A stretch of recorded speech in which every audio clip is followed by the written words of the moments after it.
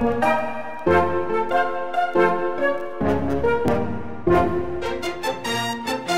Darren Marlar, and this is your daily dose of weird news. Facebook pulled the Feeling Fat emoticon from its list of status updates on Tuesday after an online petition called for its removal. Grad student and playwright Catherine Weingarten, alongside the advocacy group Endangered Bodies, had launched a petition on Change.org calling for the status's removal last month. Weingart said, when people see Feeling Fat on Facebook, I want them to realize that it's not just a light, cute sort of thing for everyone. Yeah, sounds like somebody's a bit too sensitive about their weight, Fatty Kathy. During her Tuesday press conference, not only did Hillary Clinton use a private email address as Secretary of State, she says she ran it from her own private computer system. We're betting that did have a reset button that worked.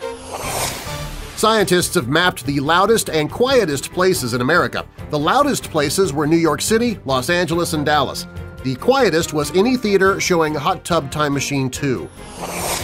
A jury on Tuesday voted unanimously to award members of Marvin Gaye's family $7.4 million as a result of their suit against Robin Thicke, Pharrell Williams, and T.I. over copyright infringement. They felt Thicke's 2013 mega hit Blurred Lines was a rip-off of Gaye's 1977 hit song Got to Give It Up.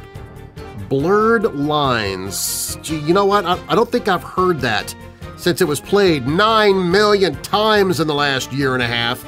I'm glad Thicke lost that suit just to punish him for what he did to my ears. Police in Florida are searching for a suspect who stole 75 panties worth $1,188 from a Victoria's Secret store. That's no wonder they stole them. Do the math, and that's over 15 bucks for a single pair of underwear. Who can afford that? Students at a private high school in Albuquerque have voted to have a communism-themed prom. At midnight, they'll leave their prom, roll into a nearby town, and take over that school's prom. If a Mercedes or Range Rover SUV are a bit too low rent for your lifestyle, Rolls-Royce has the family hauler for you. The Rolls-Royce Cullinan, named after the famed 3,000-carat diamond, is coming in 2018. The SUV will have a sticker of $340,000. You know, if it comes with its own full-time driver and you deal with Chicago traffic, it might be worth it. That's your Daily Dose of Weird News. I'm Darren Marlar. Get more weird news anytime, anywhere at dailydoseofweirdnews.com. You can join the Weird News Facebook group, download the free app for Apple or Android, subscribe to my YouTube channel, sign up for my newsletter, visit me on Facebook, Twitter, LinkedIn, and more. Check it out at dailydoseofweirdnews.com.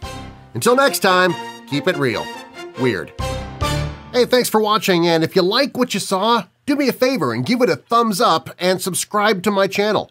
Be sure to also click that little gear icon next to the subscribe button and select Send Me Updates so you'll be notified when I post new videos.